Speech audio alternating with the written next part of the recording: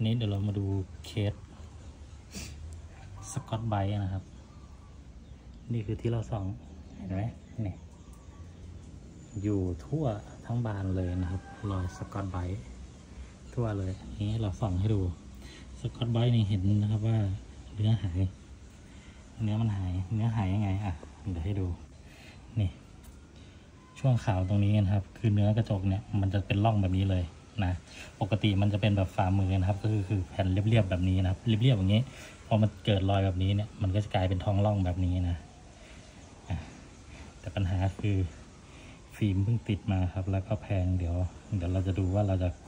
ช่วยได้แค่ไหนนะครับทั้งหมดเลย อันนี้ก็จะเป็นบางๆเล็ก ๆ น้อยๆอ่าอันนี้เป็นสะเก็ดหิน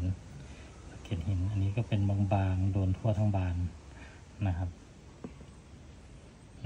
อืมมีรอยสเก็ตหินด้วย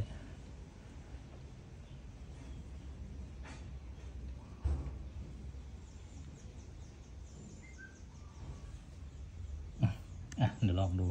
ถ้าใครสนใจกล้อง Wi-Fi นะครับ ตัวใหม่ล่าสุดก็ทักมาได้